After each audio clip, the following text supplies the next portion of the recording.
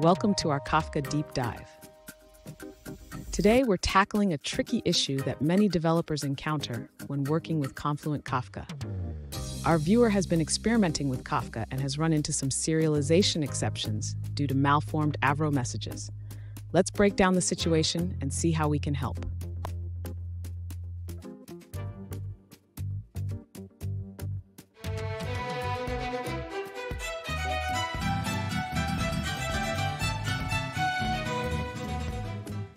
Welcome back to another technical video. Today, I'll be going through your question, answering it, and hopefully finding that solution that you need. Guys, remember to stay just a little bit crazy, just like me, and hopefully find that resolution you're looking for. Now, let's continue on to the video. Let's begin by understanding the issue you're facing with Kafka deserialization. You mentioned that you're encountering serialization exceptions due to malformed Avro messages. This typically happens when the schema of the incoming messages does not match the expected schema.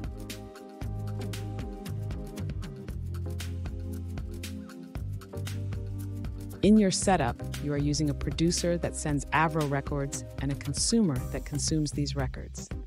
The consumer is configured with a string deserializer for the key and a Kafka Avro deserializer for the value.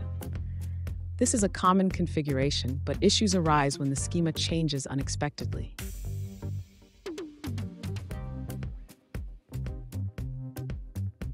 You mentioned that a bad message was sent to the topic, which modified the latest schema in the schema registry.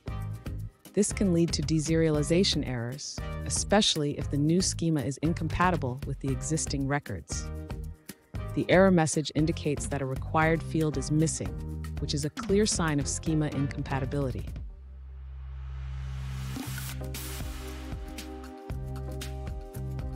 To handle this situation, you have a couple of options. One approach is to use the byte array deserializer and handle the deserialization manually. This allows you to skip over problematic messages. Alternatively, you can adjust your consumer settings to manage how many records to pull at once, but it seems this hasn't worked as expected in your case.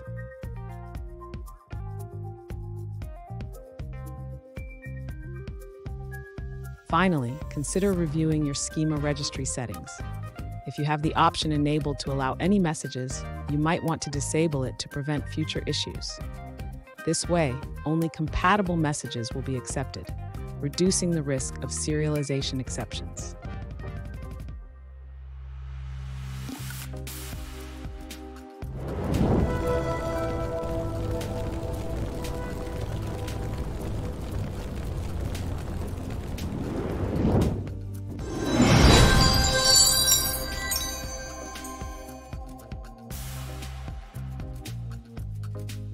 Let's now look at a user-suggested answer.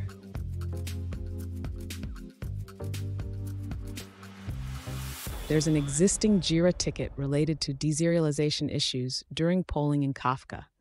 You can find more details at the provided link.